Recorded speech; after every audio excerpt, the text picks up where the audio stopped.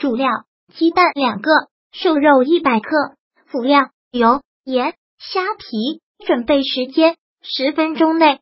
制作时间：十到二十分钟。先来看以上主要材料：两个鸡蛋，两两左右的瘦肉，还有虾皮。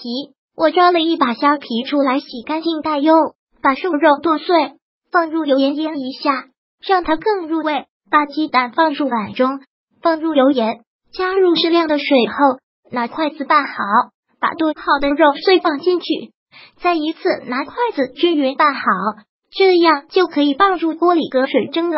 烹饪技巧：一般水蒸蛋不用蒸太久，但因为加了肉不容易熟，所以时间要相对延长。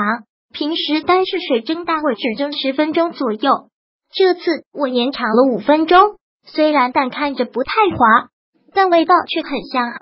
如果喜欢本视频，请分享并订阅本频道，别忘了按赞哦。